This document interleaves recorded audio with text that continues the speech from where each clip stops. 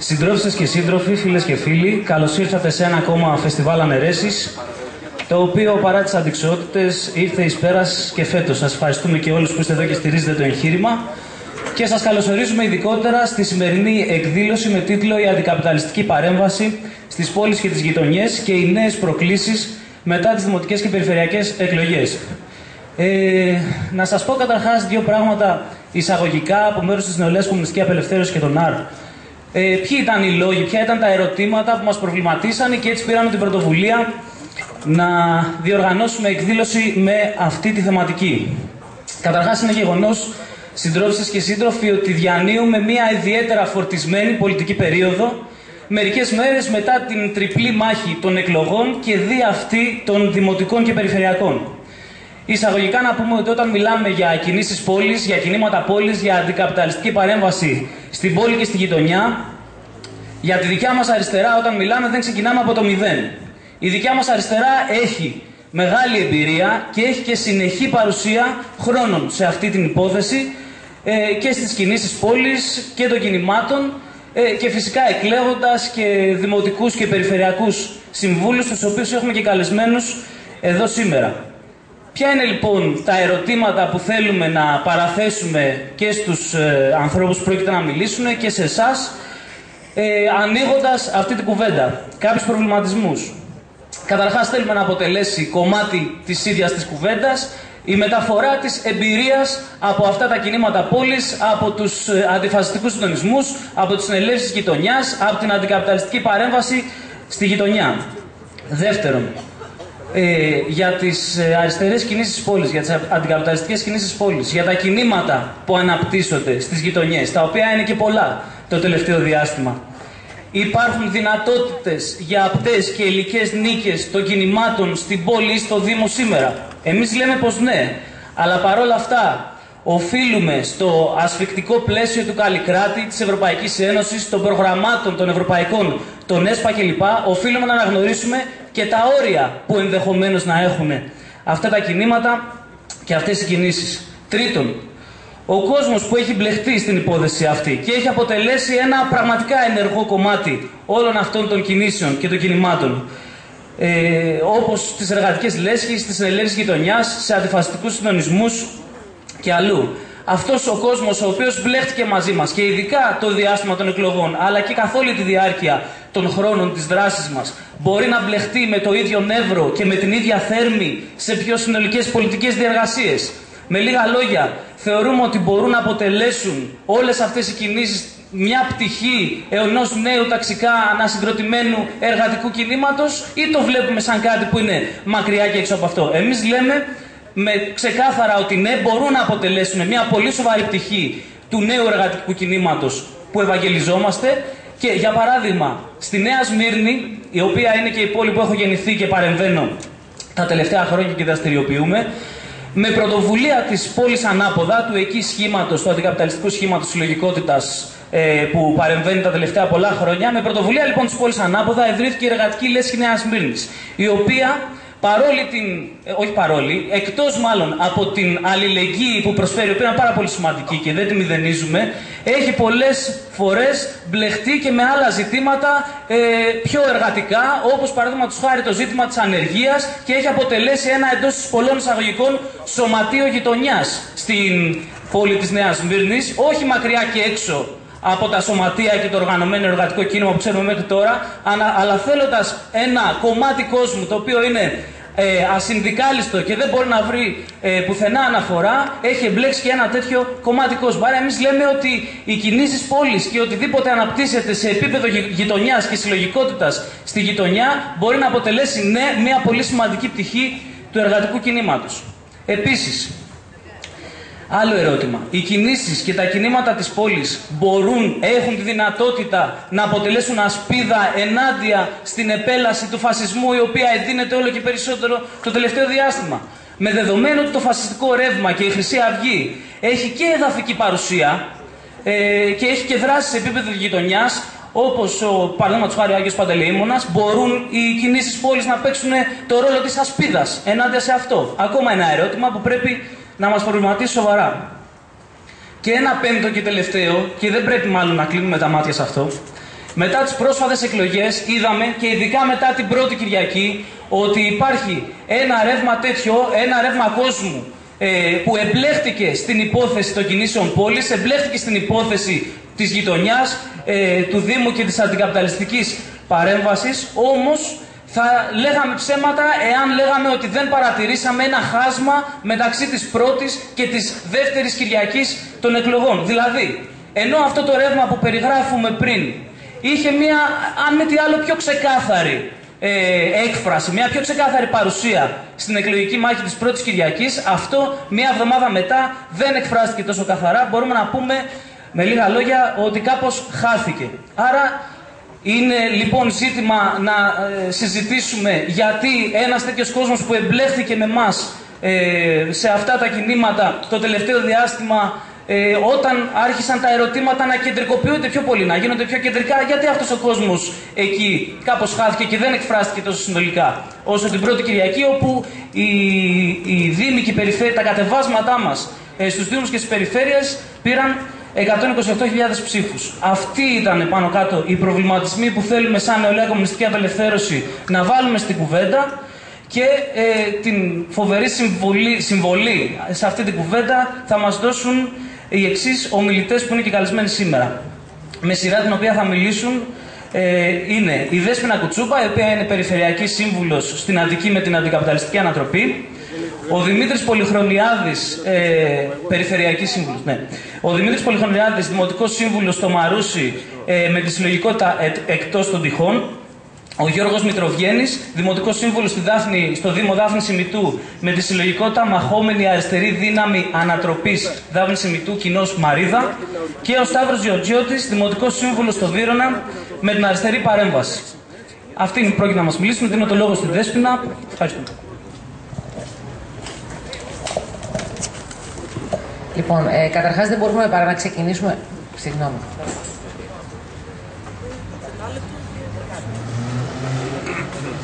Συγγνώμη, το θέμα του χρόνου.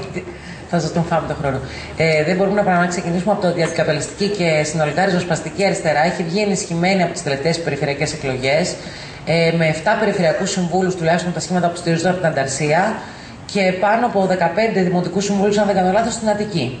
Ε, μιλάμε πια για ένα ρεύμα ε, που θα μπορούσε να καταγραφεί και ως ρεύμα πια με ένα πιο ε, στιβαρό τρόπο και να, να πιάσει στα σοβαρά και επί του πρακτέου το θέμα τι σημαίνει ριζοσπαστική αριστερά στην αυτοδιοίκηση. Καταρχάς, επειδή τέθηκε ένα ερώτημα προηγουμένως, παραδοσιακά η αριστερά, και αυτό το ξέρουν καλύτερα οι μεγαλύτεροι που βρίσκονται και στο ακροατήριο, είχε πολύ περισσότερα ποσοστά ε, στις εκλογές τοπικής αυτοδιοίκησης από ό,τι είχε στις ε, κεντρικές κάλπες βουλευτικές, αργότερα ευρωεκλογέ κλπ. Ε, και αυτό είχε να κάνει με το ότι η αριστερά είχε τοπική γύρωση και είχε τοπικά στελέχη ε, τα οποία είχαν πραγματική σχέση με τις γειτονιές. Δηλαδή, στην πραγματικότητα το περίεργο δεν είναι ε, τόσο το γιατί της Ανταρσία το ποσοστό πέφτει στις ευρωεκλογές. Το περίεργο είναι ότι έχουμε το φαινόμενο το ποσοστό του ΣΥΡΙΖΑ στις περιφερειακές εκλογές και στις ευρωεκλογές να μην έχουν καμία σχέση. Στις ε, δημοτικές εννοώ. Και στις ευρωεκλογές να είναι πολύ μεγαλύτερο. Που σημαίνει πια ένα πολύ περισσότερο κεντρικού τύπου κριτήριο παρά ένα κριτήριο ενός μιας αριστεράς που είναι γεωμένη πραγματικά σε πραγματικές μάζες και γι' αυτό το λόγο ψηφίζεται. Ψηφίζεται με ένα γενικό μήνυμα και όχι με, ένα, ε, με μια πραγματική εμπιστοσύνη ε, σε μια πραγματική δουλειά που έχει γίνει. Ε, και αυτό φάνηκε και την, ε, στο δεύτερο γύρο των δημοτικών και περιφερειακών εκλογών και στον πρώτο, αλλά στο δεύτερο ήταν πιο εμφανές γιατί ο κόσμος που ψήφιζε στις περιφερειακές, ας πούμε, για παράδειγμα, τη δύναμη ζωής, ε, στην κάλπη των ευρωεκλογών μοιράστηκε σε πολλά και διαφορετικά κόμματα. Ε, λοιπόν, τι σημαίνει τώρα αυτή η αύξηση της αντικαπλιστική ριζοσπαστικής αριστεράς, η ενίσχυση, τι σημαίνει κατά τη γνώμη μου για την αυτοδιοίκηση; Εγώ νομίζω ότι δύο πράγματα είναι πάρα πολύ βασικά και πρέπει να τα συζητήσουμε. Ε, και να τα συζητήσουν κυρίως και από κάτω και οι ομιλητές πάνω που έχουν πολύ μεγαλύτερη εμπειρία από μένα σε θέματα αυτοδιοίκησης, να το πούμε αυτό. Έτσι. Ε, νομίζω ότι το νούμερο ένα θέμα είναι άλλες δομές δημοκρατίας και γειτονιές αλληλεγγύης. Πάρα πολύ σωστά στον πολιτικό μας λόγο κάναμε κριτική στον Καλλικράτη. Ο Καλλικράτης στην πραγματικότητα ορίζει μια αυτοδιοίκηση που δεν έχει καμία σχέση με πραγματική αυτο, με, αυτό που, με αυτό που λέει ο όρος αυτοδιοίκηση. Είναι πολύ περισσότερο το κατώτερο κομμάτι ενός κεντρικού κράτους παρά ε, μια, ε, το, το, ανώτερο ας πούμε, επίπεδο ξέρω εγώ, μιας αυτοδιοίκησης των, ε, των γειτονιών ή των, ε, ε, του λαού μιας περιοχής. Και ο Καλιτάτης ορίζει πάρα πολύ συγκεκριμένες μορφές και δομές και πάρα πολύ συγκεκριμένους περιορισμούς εάν συνυπολογίσουμε και το οικονομικό παρατηρητήριο των ΟΤΑ ε, το οποίο θα είναι, είναι κάτι σαν το μνημόνιο στην τοπική αυτοδιοίκηση. Δηλαδή, ε, είναι, ορίζει το οικονομικό, όχι μάλλον τα μνημόνια ορίζουν και το οικονομικό παρατηρητήριο είναι εκεί για να ε, παίζει το ρόλο του επιτηρητή, ε, ορίζει ποια πρέπει να είναι τα έσοδα, ποια πρέπει να είναι τα έξοδα, τα μέγιστα έξοδα ε, και ούτω καθεξής σε κάθε Δήμο. Αυτά το νομίζω γνωρίζετε ότι στο μεσοπρόθεσμο το τελευταίο που ψηφίστηκε υπήρχαν μέσα με συγκεκριμένα νούμερα μέχρι το 2018, αν δεν κάνω λάθος, ποια πρέπει να είναι τα έσοδα των ΟΤΑ και ποια πρέπει να είναι τα έξοδα.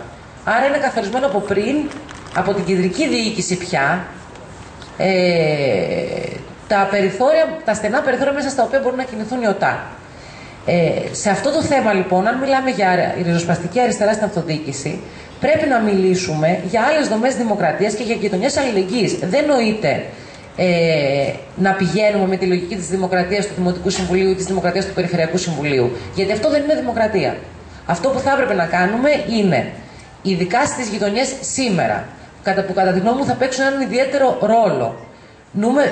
Ο νούμερο ένα λόγος, κατά τη δικιά μου τη γνώμη, είναι η καλπάζουσα ανεργία. Η, η καλπάζουσα ανεργία σημαίνει ότι η γειτονιά στην οποία μένεις, το περιβάλλον στο οποίο μένεις, το αν, μπορεί, αν έχεις κοντά σου νοσοκομείο, αν υπάρχουν σχολεία, αν υπάρχει παιδικό σταθμός και αν υπάρχει παιδική χαρά, και αν, υπάρχει, και αν υπάρχουν χώροι αναψυχής τους οποίους να μην χρειάζεται να πληρώνεις, είναι για κάποιο κόσμο θα είναι το νούμερο ένα θέμα, ειδικά στην Αττική.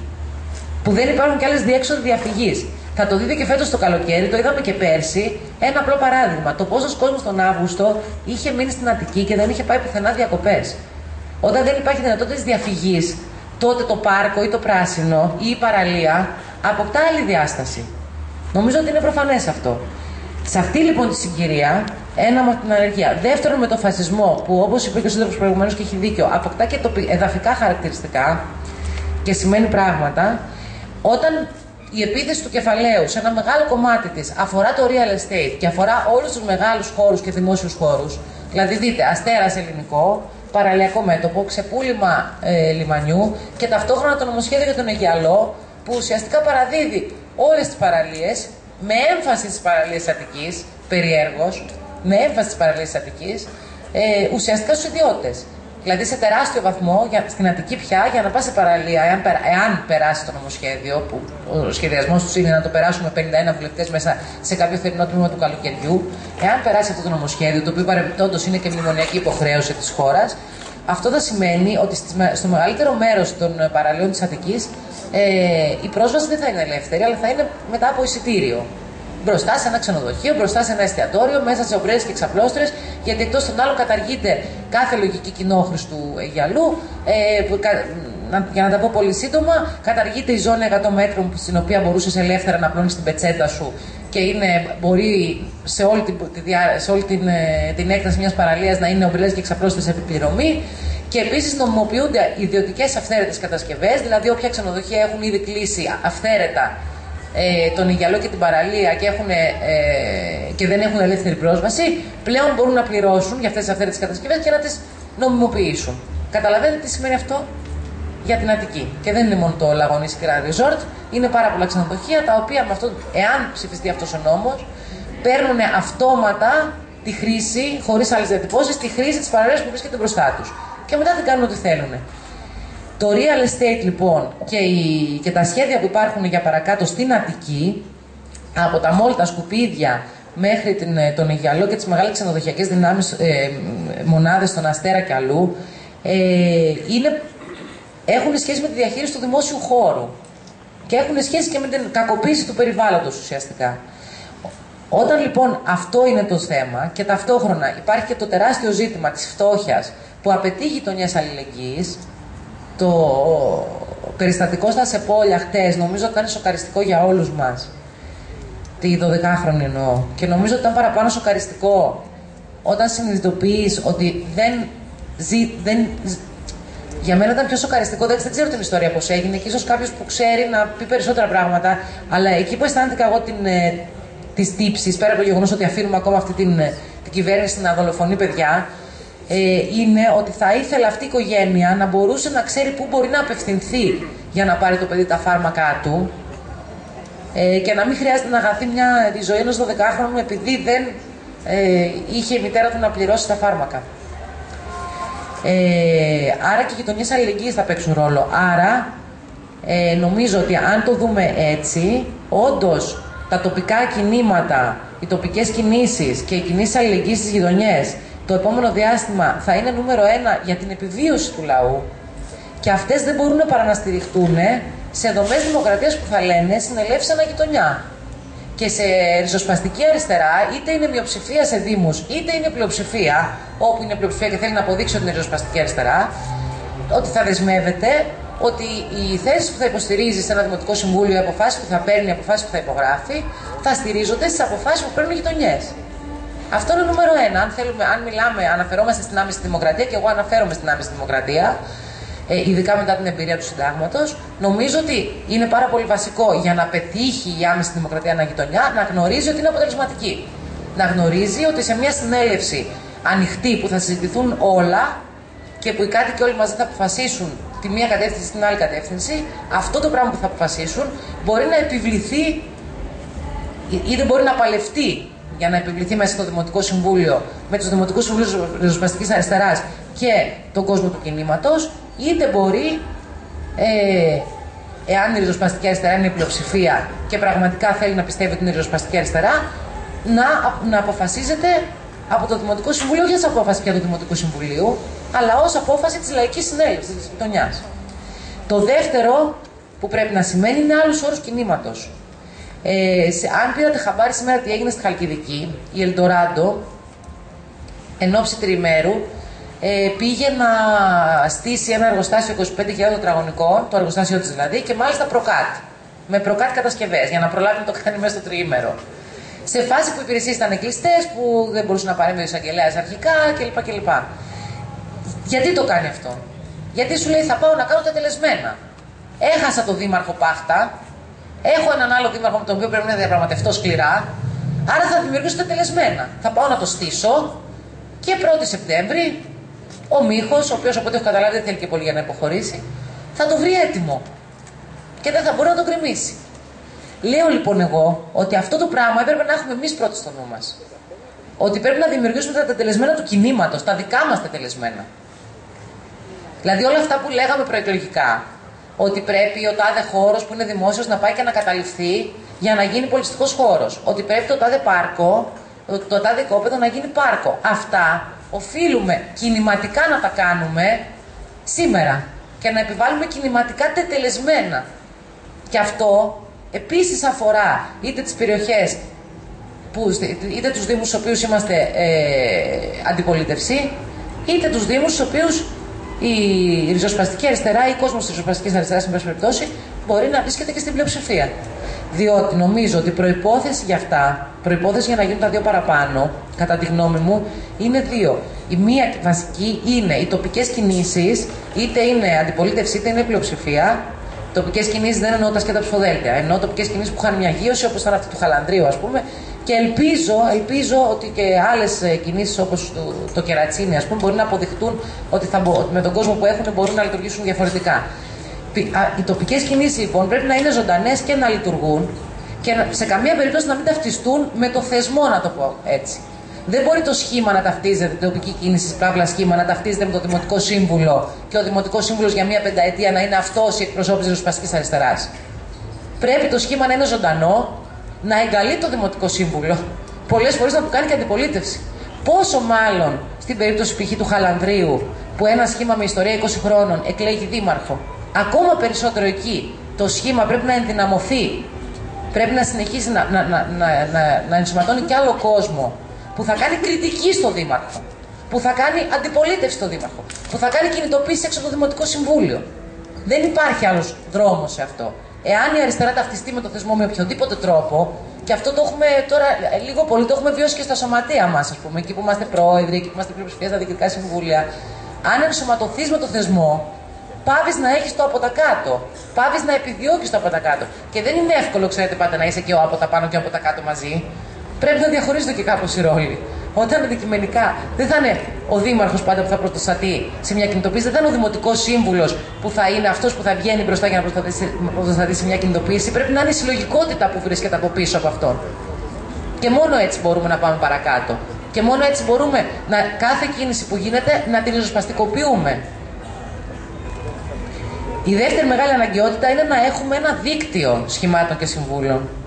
Ε, πρέπει να έχουμε ένα δίκτυο σχημάτων και συμβούλων, το οποίο με κάποιο τρόπο να συνεδριάζει, να ανταλλάσσει εμπειρίες γνώμες και κυρίως να βγαίνει προς τα έξω ως ένα, ε, όχι ενιαίο πράγμα, αλλά όσο ότι υπάρχουν 15-20 δημοτικοί σύμβουλοι οι οποίοι παλεύουν αυτά και τα παλεύουν σε όλους τους Δήμους. Αυτό νομίζω θα μας δώσει δύναμη. Νομίζω ότι αυτό που μας έλειψε την προηγούμενη τριετία. Βέβαια, είχαμε και λιγότερες δυνάμεις, αλλά αυτό μας έλειψε. Το να υπάρχει εκτός από κάποια κείμενα που βγαίνουν, και συνυπογράφονταν, το να υπάρχει μια κοινή παρουσία και να ξέρεις ότι παλεύει από κοινού κάποια πράγματα.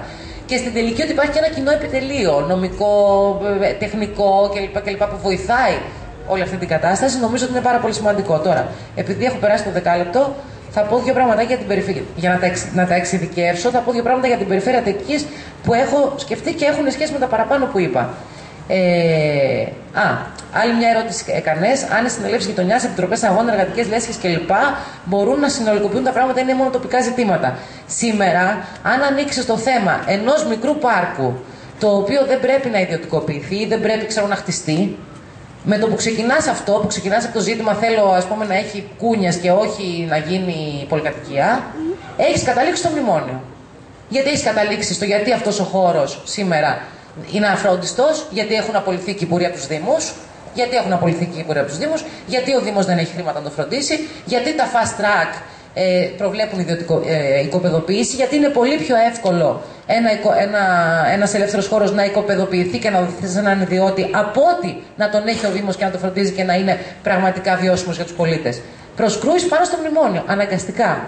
Και αυτό το θέλουμε νομίζω. Θέλουμε να πολιτικοποιούμε αυτούς τους αγώνες και αντικειμενικά τα τελευταία δύο-τρία χρόνια πολιτικοποιούνται ε, εξ ανάγκη. Γιατί εκεί πας και πέφτεις πάνω δηλαδή ε, τη συγκινητοποίηση που θα κάνεις στο Δήμαρχο. Δηλαδή θα σου πει, μα δεν μπορώ, γιατί δεν, δεν υπάρχουν, ε, δεν μπορώ να προσλάβω κυπούρο, δεν υπάρχει έγκριση χρημάτων. Φτιάξε μια κινσέπ. Φτιάξε μια κινσέπ να φροντίζει το πάρκο. Αυτή είναι η απάντηση.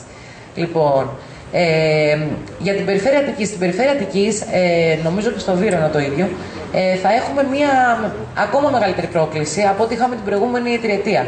Την προηγούμενη τριετία ήταν πολύ σκληρή απέναντι στο σγουρό, προφανώς, γιατί είναι εκπρόσωπος συμφερόντων αλλά ε, είναι μια διαφορετικού τύπου πρόκληση να πρέπει να κάνεις αριστερή αντιπολίτευση στη, συνδια... στη διαχείριση που ήταν το που, που προβλέπεται και που ήταν αυτό και το πρόγραμμά τους ε, της παράταξης της Ράνας Δούρου. Ε, το, νομίζω ότι το, ζήσατε, το, το βιώσατε όλοι, δεν υπόθηκε κάτι πολύ συγκεκριμένο, πέρα από, διαχεί, από μια άλλου τύπου διαχείριση των ΕΣΠΑ και το όποιων χρημάτων έχει περιφέρεια. Ε, έχω σκεφτεί κάποια πολύ συγκεκριμένα πράγματα ε, για, να, για να τα πω σαν παραδείγματα για να καταλάβετε τι, τι, έχω, τι νομίζω ότι πρέπει να είναι κατευθύνσεις που θα βάζεις για να τους λες προς τα εκεί πρέπει να πας. Το ένα είναι για τα σκουπίδια.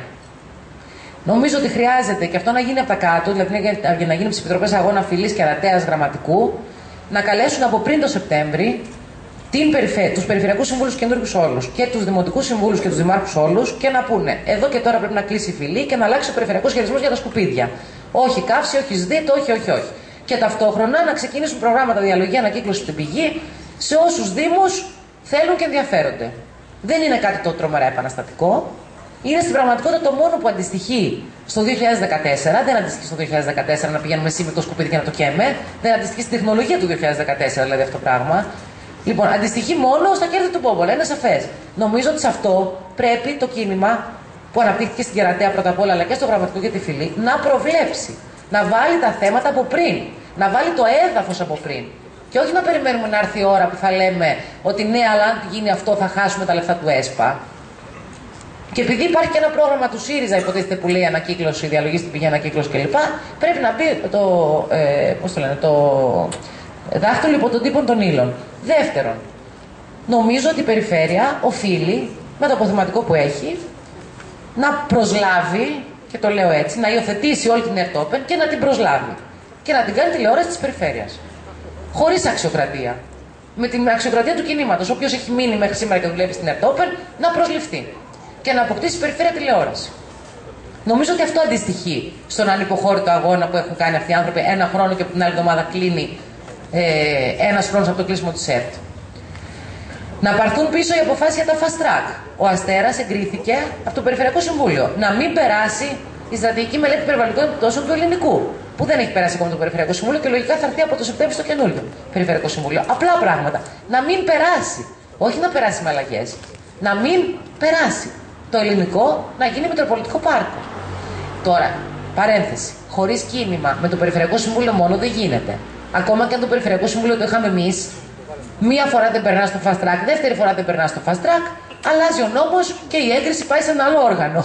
Είναι πάρα πολύ απλό. Το άρθρο 81 του ρυθμιστικού σχεδίου για την ΑΕΚ έχει και μια μικρή λεπτομέρεια ότι αλλάζει το φορέα που θα δώσει την άδεια. Το πηγαίνει σε μια άσχετη υπηρεσία με έναν άσχετο διευθυντή που προφανώς είναι μιλημένο το πράγμα.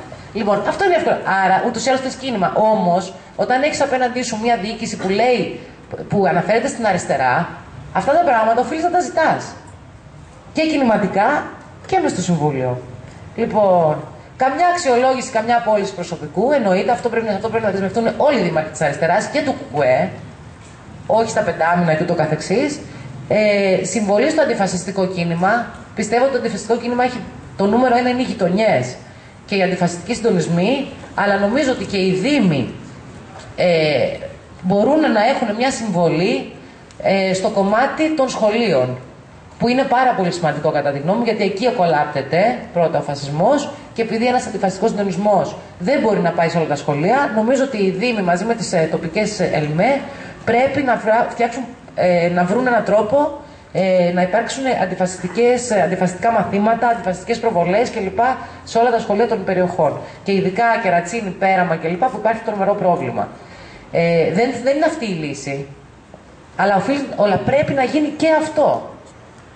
Ε, και νομίζω, ας πούμε, ότι στο Περιφερειακό Συμβούλιο Αττικής, θα πω άλλη μια πρόταση τώρα, που είναι πολύ, πολύ μικρή, αλλά νομίζω ότι έχει σημασία, που έχουμε έξι συμβούλους της ε, Χρυσής Αυγής, ε, και, και έχουμε πλειοψηφία υπο, υποτίθεται μιας παράταξης που λέει ότι είναι αριστερή, νομίζω ότι ο όργο που θα δώσει το νέο Περιφερειακό Συμβούλιο οφείλει να είναι πολιτικός. Και κατ' εξαίρεση μόνο όποιος θέλει θρησκευτικό όρκο. Εάν είμαστε με το διαχωρισμό εκκλησία-κράτου και αν επαγγελόμαστε ε, μια άλλη διοίκηση. Λοιπόν, τέλος, επειδή ανοίγει μια μεγάλη περίοδος που ο ΣΥΡΙΖΑ σε κεντρικό επίπεδο θα πηγαίνει όλο και περισσότερο δεξιά και τα δείγματα είναι ήδη ορατά, ε, και επειδή θα απογοητεύσει και θα προδώσει και το δικό του κόσμο και το κόσμο που, έχει, που κοιτάζει προς τα εκεί, όχι αναγκαστικά γιατί έχει, πλήρη, ε, ε, γιατί έχει πλήρως ελπίδες του εκεί, αλλά γιατί αισθάνεται την ανάγκη να φύγει η κυβέρνηση Σαμαρά, έχω να πω δύο πράγματα. Το ένα πράγμα είναι ότι το μήνυμα των εκλογών, κατά τη γνώμη μου, ήταν ότι η κυβέρνηση δεν φεύγει με καμία κάλπη, και είναι πάρα πολύ προβληματικό που η αντίληψη σε δύο μήνες έχουμε εκλογές, ένα μήνα έχουμε εκλογές, σε τρεις μήνες έχουμε εκλογές και ούτω καθεξής, έχει επηρεάσει ακόμα και εμάς, ακόμα και το, το, το, κινηματικό κομμάτι και της ζωσπαστική αριστεράς έχει επηρεάσει αυτή η αντίληψη μετά, μετά από τόσα χρόνια αγώνες. Ε, και Είναι, είμαστε σε μια φάση που πρέπει να ξαναξυπνήσουμε. Το μήνυμα της κάλυψη ήταν αυτό. Και οφείλει να το καταλάβει και, το, και ο δικός μας ο κόσμος, να το καταλάβει επί της ουσίας εννοώ, γιατί βέβαια εμείς αυτό λέμε, αλλά τι κάνουμε. Πώς είμαστε αυτές τις καθαρίστριες. Και οφείλει να το καταλάβει και το κινηματικό κομμάτι της υπόλοιπης αριστεράς και του ΣΥΡΙΖΑ και του ΚΚΕ. Λοιπόν, ή θα τη ρίξουμε αυτή την κυβέρνηση ή θα εξαγοράσουν 30 βουλευτές και θα μας κυβερνήσουν μια τετραετία. Να εξαντλήσει και ο Πενιζέλος τετραετία, γιατί αυτό ούτε με μπουλντόζ να το βγάζει από τη Βουλή. Λοιπόν, και το δεύτερο και πιο σημαντικό είναι ότι η στάση δικιά μας, κατά τη γνώμη μου, όλων των συμβούλων της Ριζοσπαστική Αριστεράς, οφείλει να είναι στάση ηγεμονική. Δεν οφείλει να είναι στάση του τύπου σε περιμένω στη γωνία να κάνεις το λάθος και να λέω Να το ξέρω, θα το κάνεις το λάθος γιατί είσαι δεξιός. Αλλά πρέπει να είναι στάση που θα βάζει πρώτα τα ζητήματα τι θα, έπρεπε, τι θα έπρεπε να κάνει η αριστερά, θα τα βάζει και στο κίνημα, θα τα βάζει και στα συμβούλια και στη βάση αυτή θα αναγκάζει τον άλλο να τοποθετείται. Και στη βάση αυτή μπορείς να είσαι και ηγεμονικός και να πεις στον κόσμο και να, να βοηθήσεις να μην απογοητευτεί κόσμος, γιατί φοβάμαι ότι το επόμενο διάστημα θα δούμε πολλές αποστρατεύσεις σε εκείνη την αριστερά. Και για να είσαι πραγματικά δεξαμενή υποδοχής αυτού του κόσμου και να μην πάει σπίτι του, ή στην απογοήτευση ή στο τρελάδικο, το νούμερο ένα θέμα είναι εσύ να λες τι πρέπει να κάνει η αριστερά και όχι τι δεν κάνει η υπόλοιπη αριστερά.